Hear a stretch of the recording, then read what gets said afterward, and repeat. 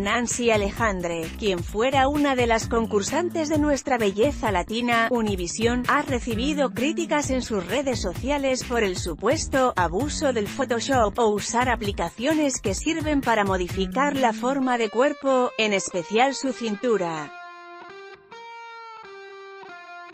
En una imagen que publicó recientemente en su cuenta de Instagram, la mexicana luce sus curvas y su diminuta cintura ha llamado la atención.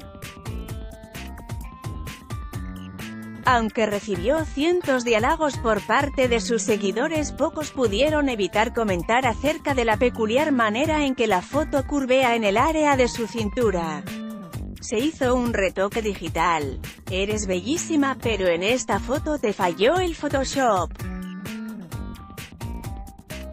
chica, podemos ver todo, el uso de Facetune en la cintura, comentó una fanática de la joven mencionando una de los programas de edición de imagen que se ha hecho popular entre varias famosas.